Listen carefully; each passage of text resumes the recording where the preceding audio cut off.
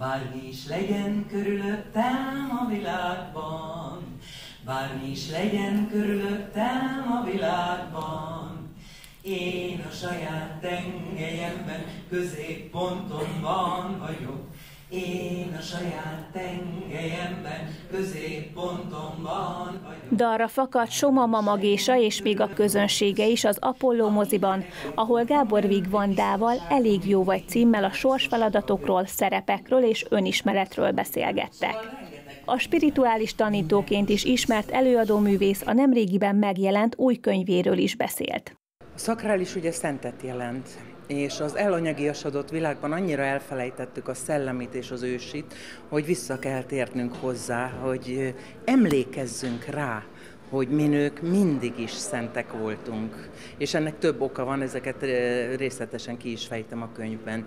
Illetve hát az új nő most már tényleg csak a vak nem látja azt, hogy itt olyan átrendeződés van globális szinten és minden szinten, hogy új fizika, új biológia, a testhez, az egészséghez, a közgazdasághoz, a földanyához, a saját nemiségünkhöz, tehát mindenhez való viszonyulásban egy új, új korszakba léptünk be, és igen, új férfi, új nő, új ember születik. Miben tudja segíteni ez a könyv a nőket, vagy egyáltalán csak nőknek szól ez a könyv, vagy esetleg a férfiak is megtudhatnak belőle ezt azt? Nagyon jó a kérdés. Természetesen a férfiak is, hiszen együtt vagyunk, és egy hajóban nevezünk, úgyhogy egy hajóban is vagyunk, úgyhogy nagyon sok rész a szakrális új emberről szól. Valójában a, mély tudatosság, illetve a négy vérmisztériumon való végigvezetés az, ami kifejezetten csak a női vonal, de egyébként mind a két nemnek szól. A borító, amit egyébként én terveztem, csak nem én rajzoltam meg, az már az egész könyv lényegiségét magában foglalja. Ugye egy, egy, egy nő, aki gyökereket ereszt a földbe, és a, a, a, a fejével, a hajával pedig kapcsolódik az égi világhoz, a, a függőlegesség, a tengelyünk, hiszen mindannyian szellemi lények vagyunk, akik beszülettünk az anyagba. A vízszintesség, ahol így kinyílik a két karja rajzolt nőnek, az pedig maga a, az életben való szerepek és szerepszituációk, amit itt a mindennapokban magunk elé rakunk, és a középpontból tudjuk ezeket integrálni, mert soha ennyi szerepe a nőknek nekünk nem volt a, a világtörténelemben, mint most. Ez, ez nagyon központi része, hogy az új nő az, az integrálja a benne élő anya, feleség, társ, vénuszínő, istennő, papnő, barátnő, dolgozónő szerepeket, és e, a láthatóak ilyen aura, vagy hát ilyen mondjuk úgy, hogy ilyen körök, ovális körök is, ez pedig a különféle testeink, és akkor én részletesen elmondom, hogy hogy tudunk tisztulni az energetikai szinten, az érzelmi testünkben, mik azok a legfőbb érzelmek az egyéni transgenerációs kollektív szinten, amikben most nagyon dominánsan tisztulni kell, a gondolati síkon, tehát a különféle testeinkben, a hitrendszerek szintjén is, mert hogy elképesztő luxusban vagyunk mi 21. századi nők, ugyanis rengeteg minden lejárt, tehát nem csak a patriarchális korszak, hanem hitrendszerek, minták, és valójában szűzhóba taposunk, tehát egy olyan utat járunk, ami egy csomó szempontból minta nélküli. De most van az, hogy összegyúrhatjuk a régi ősi időtálló, tehát a, a, a valódi egyetemes rendtörvényeire épülőt, és, és, a, és az újat, a frisset, amiben a legfontosabb, hogy napról napra egyre inkább a saját életünket éljük. Van is egy ilyen mantrám. Hogyan jutottál el odáig, hogy megírd ezt a könyvet? Mi volt a motiváció? Hát éppen mikor jöttem, gondolkodtam, hogy ki volt az a kislány, aki itt élt ezelőtt 36 éve, mert hogy 20 éves koromban költöztem el, ugye én most már a 8 hetes évemet töltöttem idén, és volt egy ilyen hát kis versikém, amiben 64 a testi hibám, ezt összeszámoltam, és hát magamat nagyon nem szerető, nagyon sok apasebbel vívódó, hát nehéz, nehéz életútból indultam, és hál' Istennek ez az én tőkém, mert egyébként minden nehézség, trauma, fájdalom az, az a mi tőkénk, hogyha ezt képesek vagyunk transformálni itt a középpontban.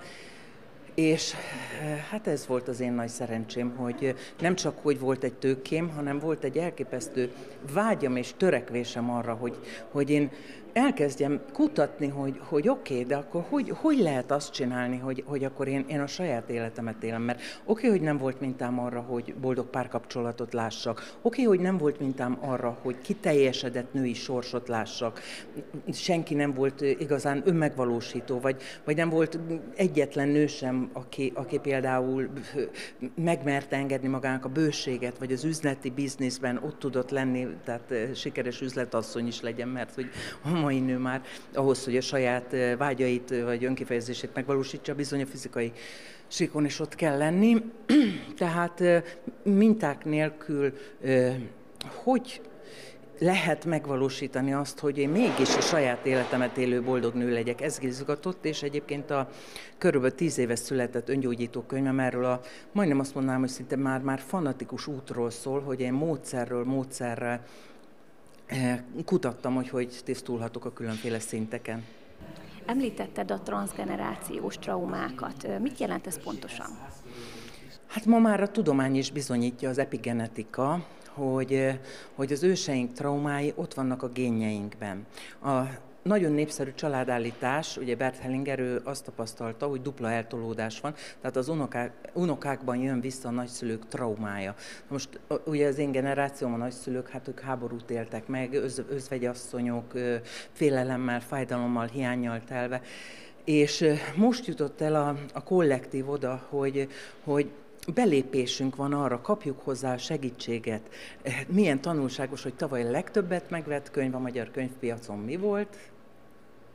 Az orvos Tóth Noémi Örökölt Sors című könyve, ami kifejezetten a transgenerációs traumákról szól. Tehát, hogy ott tart már a nagy közös is, hogy, hogy érzi, hogy hoppá, el kell indulnom valamerre. Hogyan tud segíteni ezen az oldás? Hát egyrészt maga a felismerés egy óriási tisztulás, amikor, amikor észreveszel ismétlődő mintázatokat, és magad elé veszed, és a mélyből kihozod, ez lehet fájdalmas is, és sőt, többnyire ez, ez fájdalmas is, és aztán pedig mérhetetlen sok módszer van arra, hogy ezt hogy tisztítsuk. Még egyszer mondom, az öngyógyító könyvem az pont a módszerek tömkelegéről szól. Nekem magamnak is lejött módszer, mert most már én a szertartás elemekkel ötvözök egy csomó mindent, de valójában az első maga a szándék és a felismerés és utána azt, hogy milyen módszerrel tisztítom, az már az én ügyem, de meghajolni az ősök előtt például ez egy nagyon-nagyon egyszerű ritus, és meglepően sokat hozó tud lenni, hogy, hogy kimondok varázsmondatokat, hogy, hogy, hogy köszönöm nagymama a, a tanításokat, köszönöm a sorsodat, meghajlok a sorsod előtt, de ez nem az én életem. Tehát nekem a magamét kell élnem. És akkor így levágom magam arról, hogy, hogy én megint folytassam és ismételjem, mint egy ilyen, jó, majdnem a spirálos fül, nyaklánc volt, azt hittem, az van rajta, egy ilyen spirálban ezt ismételjem. A mai előadás egyik témája az elég jó vagy. Hogyan tud egyáltalán valaki eljutni odáig, hogy ezt így is gondolja? Hmm. 17 éven át képzeld el, hogy minden hónapban oldattam magam kineziológussal, de ma már több mint száz családállítást láttam, és ezt most a két módszert emeltem ki a rengetegből de ma már annyira gyorsak az energiák, meg annyira sok korábbi tisztulás van már a kollektívban, sokkal hatékonyabban, gyorsabban lehet dolgozni, úgy is mondhatnám, hogy ez már mérföldes csizmák időszaka, és most van a most van, most lehet letenni. És Hát a kulcs itt is az, hogy, el, tehát, hogy rájöjjek arra, hogy tulajdonképpen azt, hogy valamilyennek kellene nekem egyedi, egyszeri, egy ilyen új lenyomata van mindenkinek, nincs még, még két egyforma, és akkor nem tudom, hasonlítgatjuk, ugyanúgy hasonlítgathatnánk, hogy na most nézd meg nekem, itt sokkal több kanyarodik jobbra, látod, ez mennyivel jobb? Valahogy van benne az egészben valami annyira nonsens, mint hogyha azt mondanánk, hogy nem tudom, a ló értékesebb állat, mint a disznó, és hogy a, a méhecske az túl kicsi, és az, az, az milyen kis nyomvadék egy gyönyörű szárnyú pillangóhoz képest, de mi ugyanezt játszuk emberek. Kitaláljuk, hogy nem tudom, az ekkora, meg az ekkora, meg az ilyen, meg az ilyen, meg ha majd ez lesz, majd ha meg ez lesz, na akkor majd elég jó lesz el, és közben meg egyfolytában rohanunk valamilyen elcseszett illúzió után, eh, aminek ráadásul semmi, de semmi köze nincs a, a, a boldogsághoz, vagy mondjuk úgy, hogy az elégedett mm, élet szeretethez. Hogy látod, a mostani emberek mennyire értek meg arra, hogy ezt az elképzelést a saját magukénak tudják érezni? Az a jó hír, hogy egyre többen ébredeznek, a nagy többség még alszik, körülbelül 85 százalék. A legnagyobb különbség szerintem az alvó meg a felébredt között az, hogy, hogy az alvó az még mindig hárít, ott még ott van a miatta lemez. Minden más miatt történt, mástól is várja a segítséget, kifele hárít, mutat, okol, hibáztat, haragszik, tehát nem, nem él tudatosan. A, a felébredt ember pedig azt mondja, hogy oké, okay, évmilliók ringanak a derekamban, generációk láncolatával, a lélek millió inkarnációjával, az egész univerzumnak kellett úgy így működnie, hogy én ezt a sorsot kapjam, akkor most nekem ez a tőkém, ezzel tudok valamit kezdeni, és erre szoktam mondani, hogy egy pont után engem nem az érdekel, hogy kinek mi a sztoria, mert nagyon sok sztorit gyűjtöttem, mert több mint négyezer nőtársam levelére válaszoltam, és közel három ezeret személyesen meghallgattam, hanem azt, hogy mit kezdesz azzal, amit hoztál, mert az a te tőkét. A lelki és a szellemi segítségnyújtáson kívül jótékonykodni is szoktál. Hogyan működik a Segíts egy családot?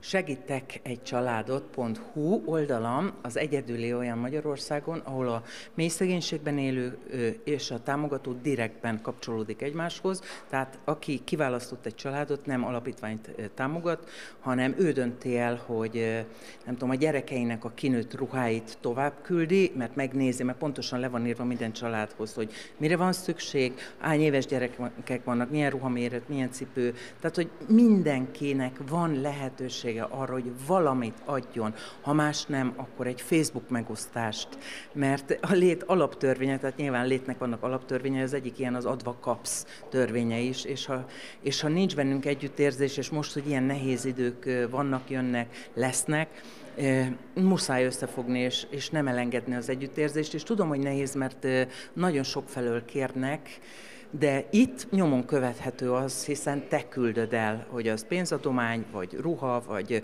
oda viszed a régi hűtőd, ami még működik, mert neked van egy új kellet, vagy nagyobb, mert rengeteg ilyen is van, tehát teljesen az egyénre van bízva, a lényeg, hogy kézből kézbe közvetlenül. A teltházas esten humorral fűszerezve mesélt Csoma az életéről és az új női szerepekről.